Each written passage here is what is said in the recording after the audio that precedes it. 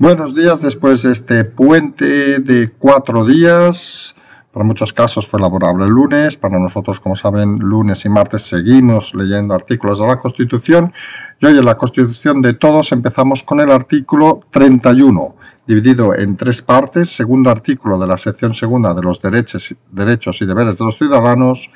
Y empezamos con el apartado primero todos contribuirán al sostenimiento de los gastos públicos de acuerdo con su capacidad económica mediante un sistema tributario justo, inspirado en los principios de igualdad y progresividad, que en ningún caso tendrá alcance confiscatorio.